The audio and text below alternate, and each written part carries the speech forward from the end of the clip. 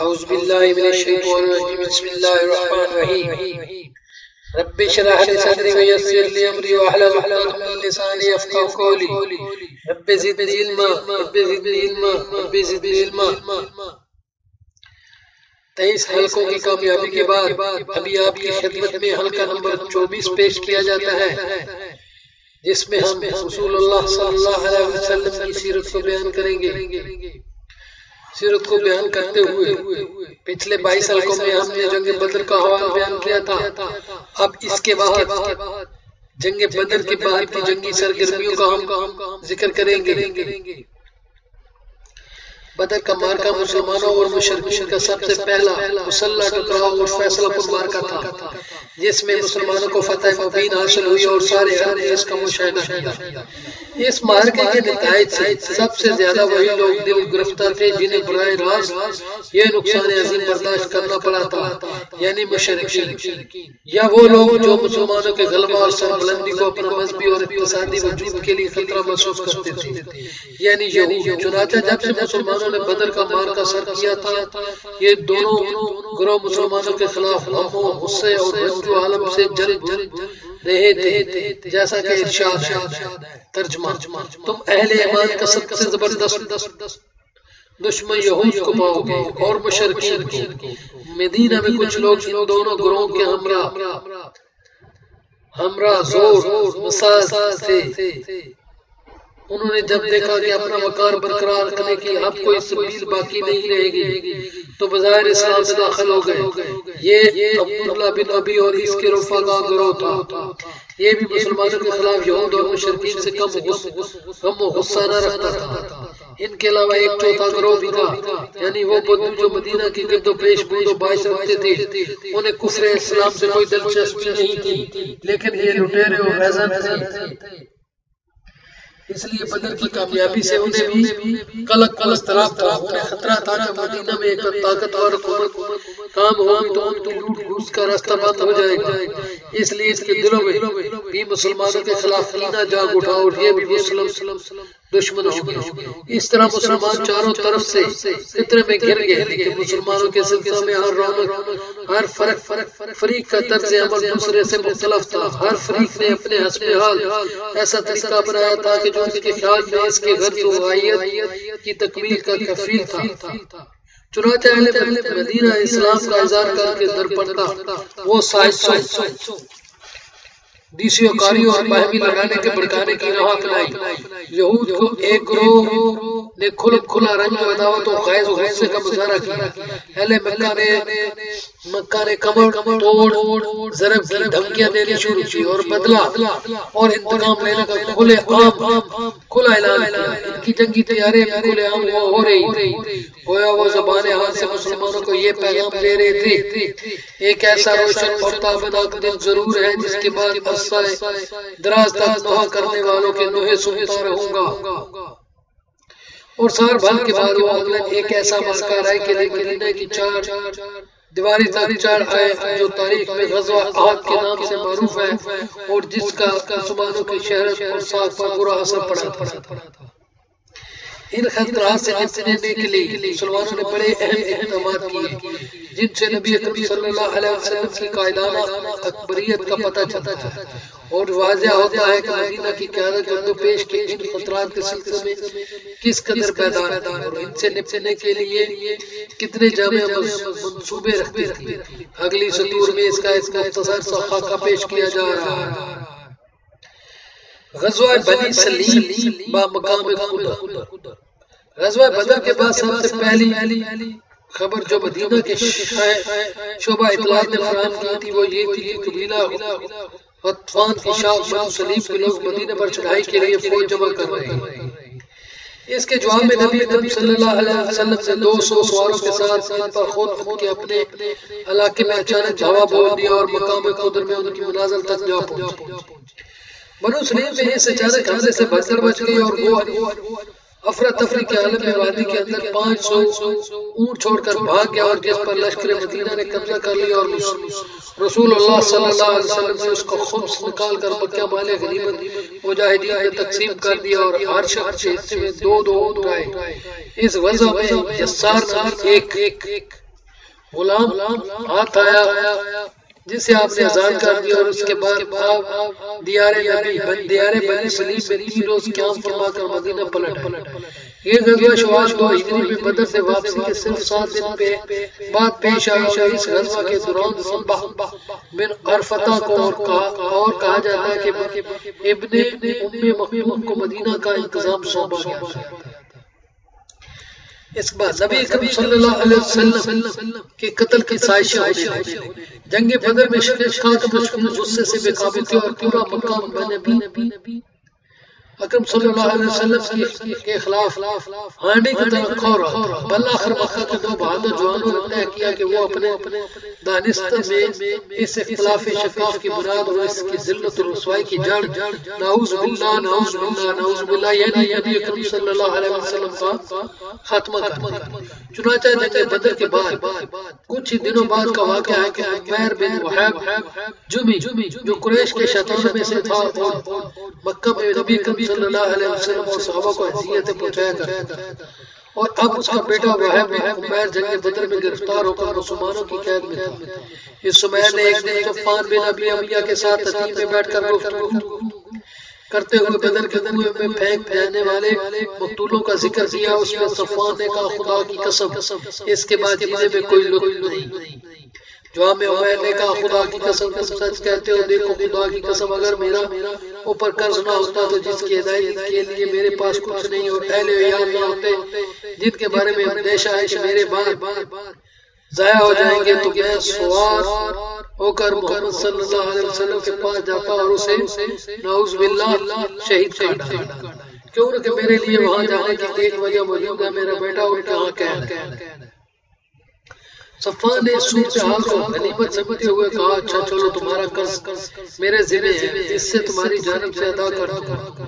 और तुम्हारे आए अहलो मेरे अहलो जब तक वो मौजूद नहीं मैं उनकी देखभाल करता रहूँगा, ऐसा नहीं हो सकता कि मेरे पास कोई चीज़ मौजूद हो और उनको ना मिले। मैंने कहा अच्छा अच्छा अब मेरे और अपने इस मामले को सीकर राज में रखना फ़ोन दे। कहा, ठीक है, मैं ऐसा ही करूँगा। इसके बाद मुखैर ने अपनी तलवार पास शाम रखाई, जहर जहर कराई, फिर रवाना हुआ और मदीना पहुँचा, लेकिन मस्जिद के दरवाजे पर ये अपनी अपनी बैठ बैठ रहा ही रहा था कि हज़रत उमर बिन खताब रज़ी अल्लाह तआला की निगाह उस पर पड़ गई। वो मुसलमानों की एक जमात के दरमियान जंग बदर में अल्लाह के अता करता आजाजों के मुतलक बातें कर रहे उन्होंने देखते ही कहा, ये कुत्ता अल्लाह का दुश्मन उमैर किसी बुरे ही इरादे से आया। फिर उन्होंने नबी अकरम सल्लल्लाहु अलैहि वसल्लम की खिदमत में हाजिर होकर अर्ज़ किया ए अल्लाह के नबी, सल्लल्लाहु अलैहि वसल्लम, ये अल्लाह का दुश्मन उमैर पे तलवार वाइल किया आया है। आपने फरमाया, इसे मेरे पास ले आओ। उमैर आया तो हज़रत उमर रज़ी अल्लाह तआला ने उसकी तलवार के पर तले को उसके गले के पास से पकड़ लिया। और इंसाफ के चंद अफराज से कहा कि तुम लोग रसूलुल्लाह सल्लल्लाहु अलैहि वसल्लम के पास जाओ और और वहीं बैठ जाओ और आपके खिलाफ इस खबीज के खतरे से चुकंदा रहो।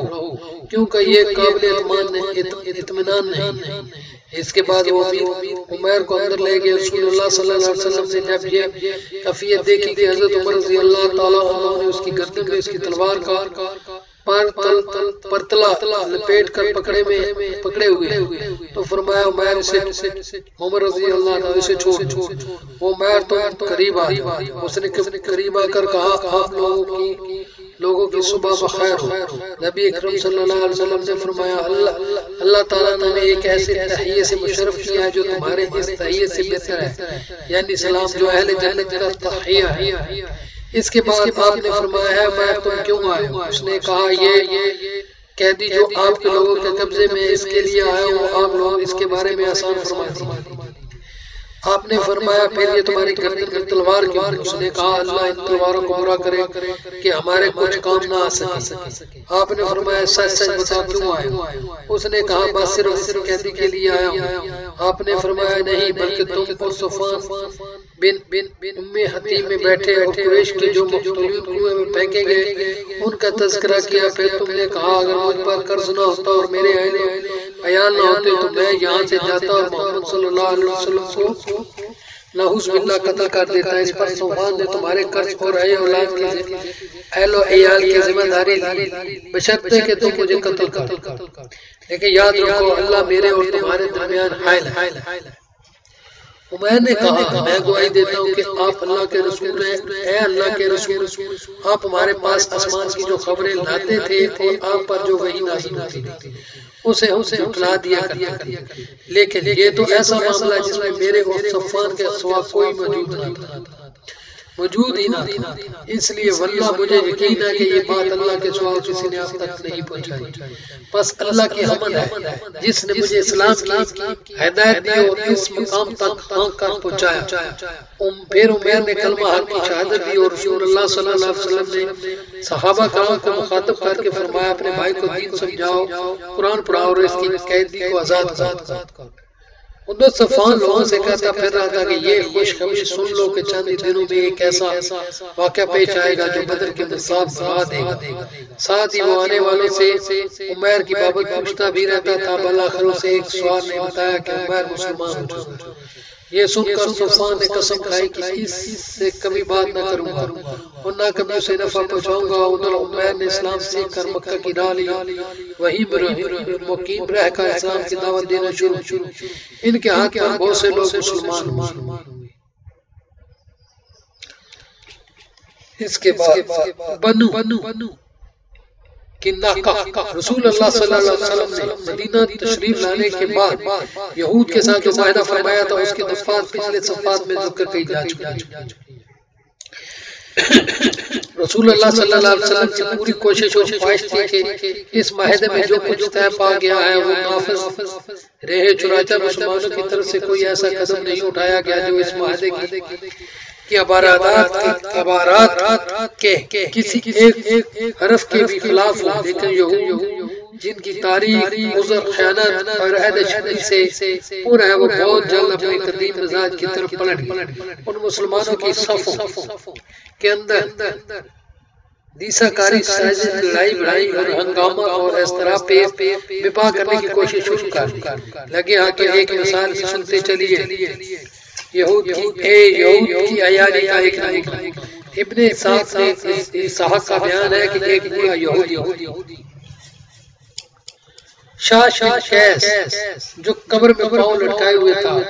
बड़ा ज़बरदस्त ज़बरदस्त काफर उन मुसलमानों में सख्त अदावत और हसद रखता था। एक बार सहाबा कराम एक मजलिस के पास गुजरा जिसमें औस हज़रत दोनों ही कबीले के लोग बैठे बैठे गुफ्तगू कर रहे थे। उसे ये देख कर के आप आपके अंदर जाहिलियत की मोहब्बत अदावत की जगह इस्लाम की उल्फत और और तबाहियत ने ले ली। और इनकी दरीना शक्कर रंजी का खात्मा हो गया है, सख्त रंज हुआ। कहने लगा हो इस दरिया में कैला के शराफ मुतहद हो गए हैं बाखुदा इन शराफ की ताल के बाद तो हमारा यहाँ गुजर नहीं। चुनाजा ने एक नौजवान यहूदी को जो इसके साथ था हुक्म दिया कि इसकी मजालस में जाए और उनके साथ बैठ कर फिर जंगी बहुत और उसके पहले के, के हालात का ज़िक्र करें। इस सिलसिले में दोनों जानब से जो इशार किए गए कुछ इस में से सुनाए। इस यहूदी ने ऐसा ही किया और इसके नतीजे में औस खजर में तू तू में शुरू हो गई और लोग झगड़ने लगे और एक दूसरे पर फख्र जताने लगे हत्ता के दोनों कबीलों के एक एक आदमी ने घुटनों के बल बैठ कर रद्दो, कदा शुरू कर दी और फिर एक ने अपने मुकाबल से कहा अगर चाहो तो हम इस जंग को फिर जवान कर कर के पलटा दें मकसद ये था कि हम किसी बागी जंगी के लिए फिर तैयार जो इससे पहले लड़ी जा चुकी है इस पर दोनों फरीकों को ताव आ गया और बोले चलो हम तैयार हैं। हेरा में मुकाबला हो गया हथियार हथियार और लोग हथियार लेकर हेरा की तरफ़ निकल पड़े और करीब था कि अंग्रेज़ी जंग हो जाती। लेकिन रसूल सल्लल्लाहु अलैहि वसल्लम से इसकी खबर हो गई आपने अपने महाजरीन साहबों को हमरा लेकर छठ के पास पहुँचे। और फरमाया मुसलमानों की जमात अल्लाह अल्लाह क्या मेरे रहते हुए जाले की पुकार और वो भी इसके बाद कि अल्लाह तुम्हें इस्लाम की हिदायत से सरफराज फरमा चुका है। और इसके ज़रिए तुमसे जाहलियत का मामला काट काट कर और तुम्हें कुफर से निजात देकर तुम्हारे दिलों को आपस में जोड़ चुका है। आपकी नसीहत सुनकर साहबा के एहसास हो गया कि इनकी हरकत शैतान का एक झटका और दुश्मन की एक चाल थी। चुनाचा वो रोने लगे और औसो खजर के लोग एक दूसरे से गले मिले। फिर रसूल अल्लाह सल्लल्लाहु अलैहि वसल्लम के साथ अतात और मंदार का इस हालत से वापस आए कि अल्लाह ने इनके दुश्मन शाह शाह की हयारी आग बुझा दी। ये है एक एक हंगामी और इस्तराबी का जिनो जो मुसलमान की सफ़ों में बपा करने की कोशिश करते रहते थे और ये है मिसाल उस रोड की जिसे रोड़े की जिसे ये जो इस्लामी दावत की राह में भटकाते रहते थे, इस काम के लिए उन्होंने मुख्तलिफ़ मनसूबा बना रखे वो झूठे प्रोपोगंडे करते थे, सुबह मुसलमानों मुसलमान होकर शाम को फिर काफिर हो जाते जाते थे ताकि कमज़ोर और सादा लोग किस्म के लोगों के दिलों में शक और शुबाही के बीज बो सके। किसी के साथ माली ताउन होता वो और वो मुसलमान हो जाता तो इस पर मैशियत की राहें तंग कर देते। चुनाचा अगर उसके जिम्मे कुछ बकाया होता तो सुबह शाम तकाजा कर और अगर खुद इस मुसलमान को कुछ बकाया उन पर होता तो उसे अदा न करते। बल्कि बातल तरीका पर खा जा और कहते कि तुम्हारा कर्ज तो हमारे ऊपर उस वक्त था जब तुम अपने अबाई दीन पर थे। लेकिन अब जब तुम अपने दीन बदल दिया है तो अब हमारा और तुम्हारा कोई लेन देन नहीं वाजा रहे कि यहूदी ने ये सारी हरकतें बदल से पहले ही शुरू कर दी थी और इस माहदे की शुरू कर दी। जो उन्होंने रसूल सल्लल्लाहु अलैहि वसल्लम से निकाल रखा था, उधर रसूल अल्लाह सल्लल्लाहु अलैहि वसल्लम और सहाबा कराम का ये हाथ था कि वो जो यहूद की हिदायत याबी की उम्मीद में इन सारी बातों पर सबक करते रहे, जा रहे थे। इसके अलावा ये भी मतलूब था कि इस इलाके में इस्लाम अमन सलामती का माहौल बरकरार रहे। बनु जब यहूदियों ने देखा कि अल्लाह ताला ने बताने मंदिर में मुसलमानों की ज़बरदस्त मंदिर फरमा कर इज़्ज़त और शौकत फरमा सरफराज फरमाया और रंग दूब दो दूब दा दूर दूर नज़दीक। हर जगह रहने वालों के दिलों पर बैठ गया तो उनकी दावत और हसद की हांडी फट फट उन्हें खुला खुला शरो दावत का मुजाहरा किया और ऐलान बगावत और इजार जाने पर उतर इनमें से सबसे ज़्यादा कीना तो तो सबसे बढ़कर शरीफ का बिन अशरफ जिसका ज़िक्र आगे आ रहा है। इस तरह तीनों यहूदी कबाइल में से में सबसे ज़्यादा केनाका का कबीला था ये लोग मदीना ही के अंदर रहते और उनका मोहल्ला, उनके नाम से मसूम था ये लोग पेशे के लिहाज से सुनार लोहार बर्तन साज पेशों, इस सबब इनके हर आदमी के पास पासो अफरा मकदार में सामान जंग मौजूद था। इनके मर्द, इन जंगी जंगी की तादाद सात सौ थी और जो मदीना के सबसे बहादुर यहूदी थे। उन्होंने सबसे पहले तफसील। ये है कि जब अल्लाह ताला ने मैदान बदर में मुसलमानों को फतह से मुकनार किया तो उनकी सरकशी में शिद्दत आ गई। उन्होंने अपनी अपनी शरदारत खबास्तों और लड़ाने बढ़ाने की में वसत इख्तियार कर ली। और पैदा करना शुरू कर चुनाचा जो उनके बाज़ार में जाते उससे वो मज़ाक करते और उसे अजियत पहुंचाते हैं, तक मुसलमान औरतों से भी छेड़छाड़ शुरू कर दी। इस तरह जब सूरत हाल ज़्यादा संगीन होगी तो उनकी सरकशी खास बढ़ गई। तो रसूल सल्लल्लाहु अलैहि वसल्लम उन्हें जुमा जुमा उन्हें जमा फरमा कर वाहिद वाहिद की और और रुश्द हदायत की दावत देती है जुल्म बगावत के अंजाम से डराया लेकिन इससे उसकी बदमाशी और झूठ में कुछ और इजाफा हो।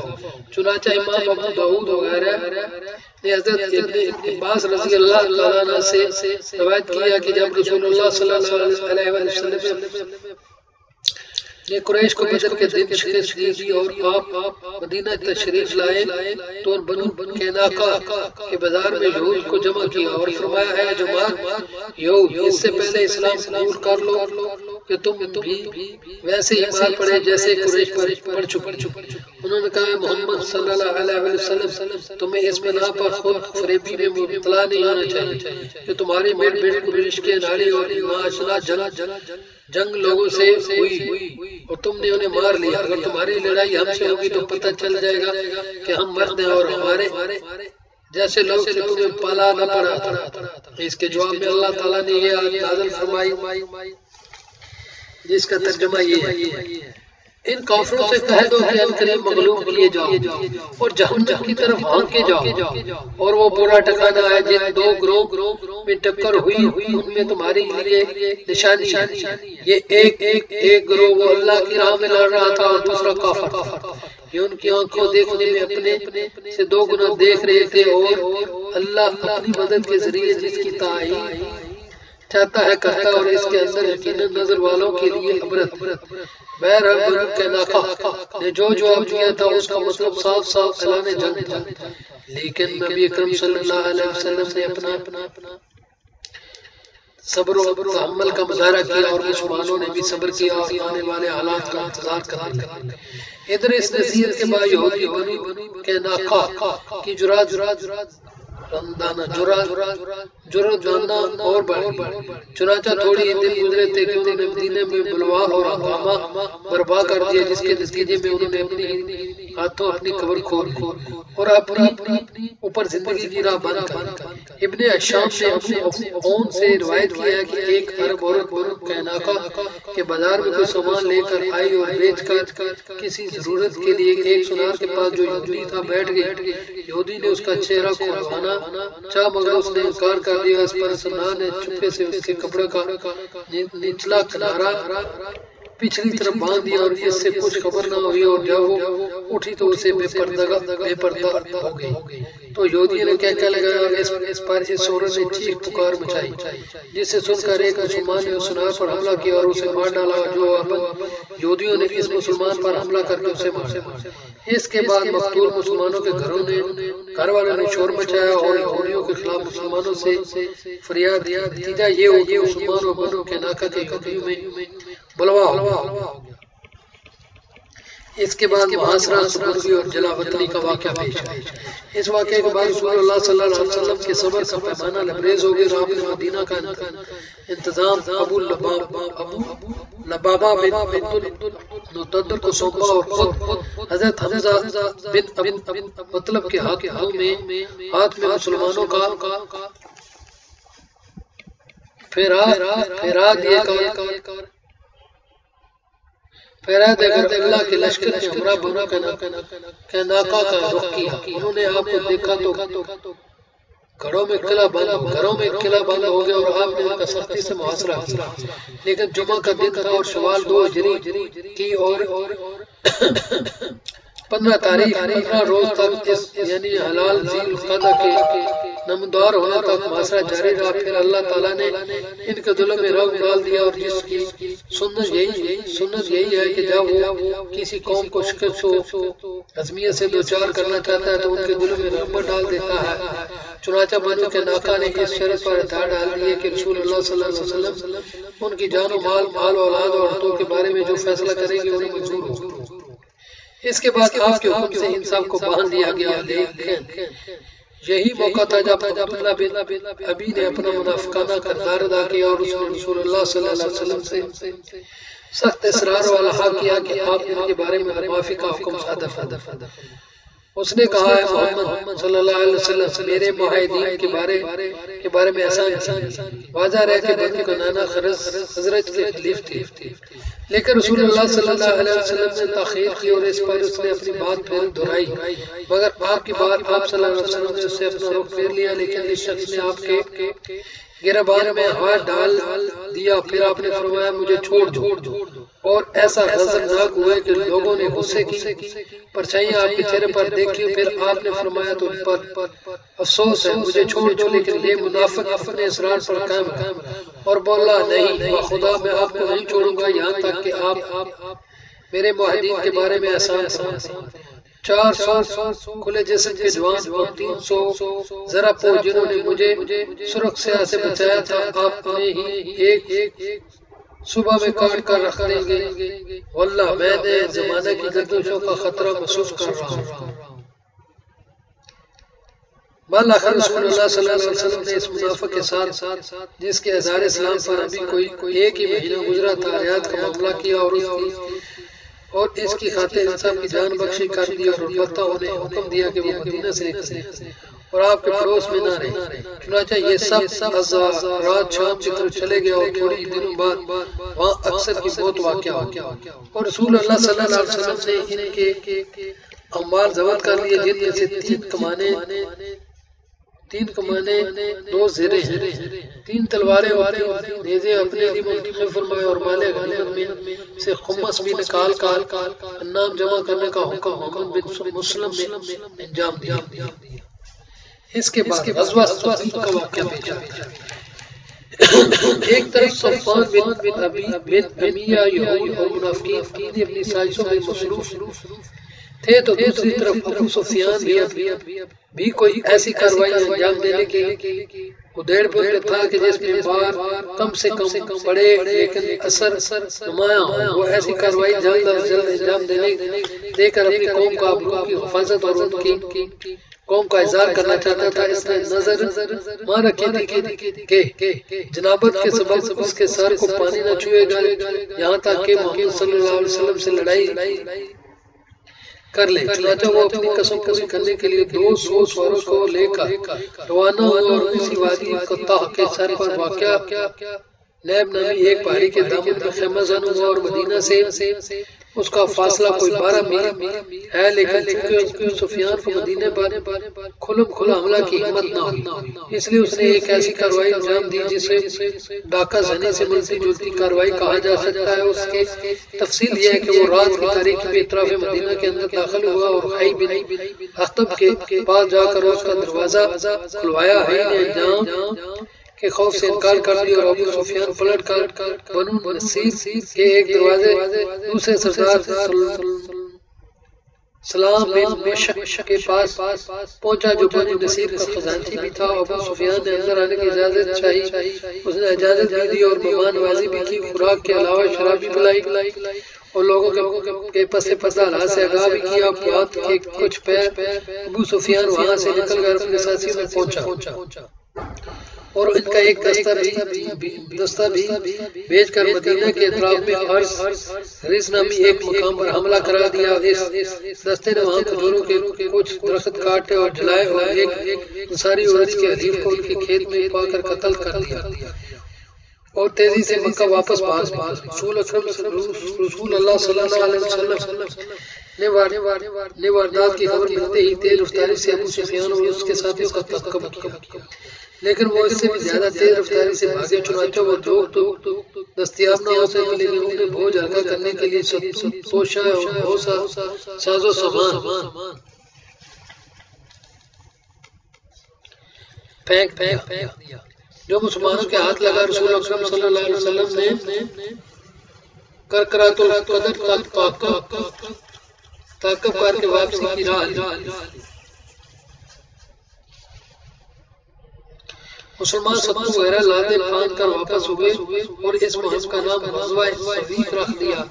सफीक अरबी जबान में सत्तू को कहा जाता है, ये गजवा जंग बदर के सिर्फ़ दो माह बाद जुल हज वो हिजरी में पेश आया और इस गजवा के दौरान मदीना का बाबा मंजर रज़ी अल्लाह को सौंपा गया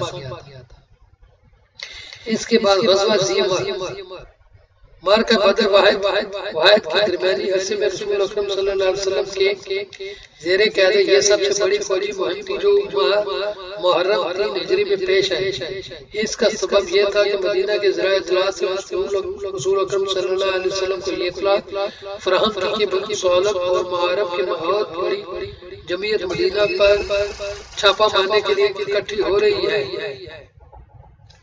ये इतला ये इतला मिलते ही रसूल मुसलमानों को तैयारी का हुक्म दिया और सवार प्यादा पर मुश्तमिल साढ़े चार सौ की नफरी लेकर रवाना हुआ।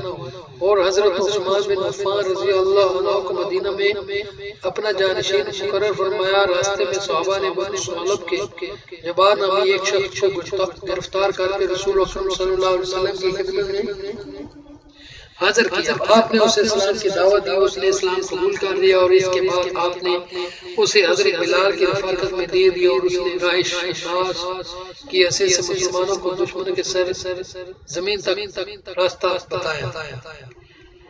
उधर दुश्मन को जैश मदीना की आमद की खबर हुई तो वो गर्दो पेश की पहाड़ों में बिखर गए, लेकिन नबी अकरम सल्लल्लाहु अलैहि वसल्लम ने पेश कदमी जारी रखी और लश्कर के हमरा मुकाम तक तशरीफ़ ले गए, जिसे दुश्मन ने अपनी जमीयत की फरहमी के लिए मुंतखब किया ये दर हकीकत एक चश्मा था जो जी अमर के नाम से मरूफ था। आपने वहाँ बतूओं पर रौब और दबदबा कायम करे और उन्हें मुसलमानों की इताद का एहसास दिलाने के लिए सफ़र। तीन हिजरी का पूरा या तकरीबन पूरा महीना गुजार दिया और इसके बाद मदीना तशरीफ़ लाए। अभी हम इंशाअल्लाह हल्का नंबर पच्चीस आपके में पेश करें जिसमें काबिल अशरफ का कत्ल का हवाला बयान करें जो बहुत बड़ा मैदान इंशाअल्लाह आप इसी तरह हमारे साथ जुड़े रहिए। और और आप तक इंशाल्लाह ये सीरत नबी सल्लल्लाहु अलैहि वसल्लम का सिलसिला जारी रहेगा। हमारे चैनल को सब्सक्राइब कीजिए और ताकि आपको सीरत नबी की लेटेस्ट टेस्ट टेस्ट वीडियो मिलती रहे। इंशाल्लाह आप हमारे लिए दुआ फरमाएँ कि मुझे इस काम पर साबित कदम रखे और मैं इस काम को जारी जारी जजाक